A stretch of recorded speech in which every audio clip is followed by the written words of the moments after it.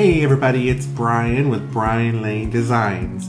Would you like to learn how to make a seasonal decor for your home or to sell? Well, follow me over at my YouTube channel at Brian Lane Designs and I can teach you how to make anything from wreaths to centerpieces to on pretty much any type of floral design that you would like to learn how to make, such as this beautiful fall floral centerpiece that I did right here. Uh, going over to my channel on YouTube and you can see the slowed down version of this video step by step and you too can make this for yourself.